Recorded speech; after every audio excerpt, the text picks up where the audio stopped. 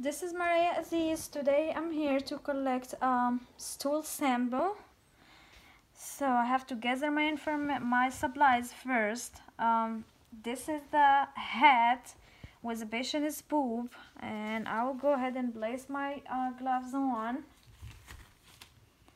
The reason for we collecting this sample is, for example, if the patient has a losing uh, poop watery for C. diff like this patient then what I'm going to do is I'm gonna place this towel under me to make sure not uh,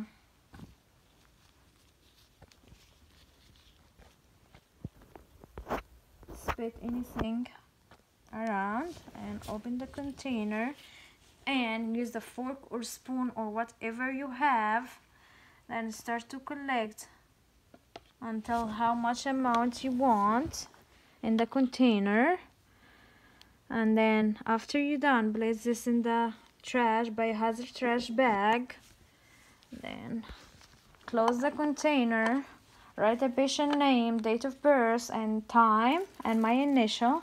Place it on the bag and do same write in patient name date of birth and time.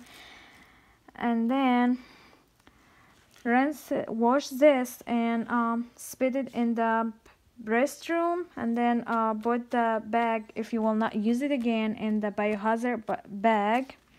And that's it